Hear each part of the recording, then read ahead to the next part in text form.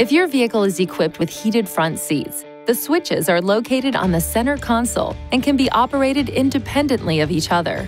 To operate the heated front seats, start the engine, then push the switch to select the desired heat range. For high heat, push the switch to high. For low heat, push the switch to low.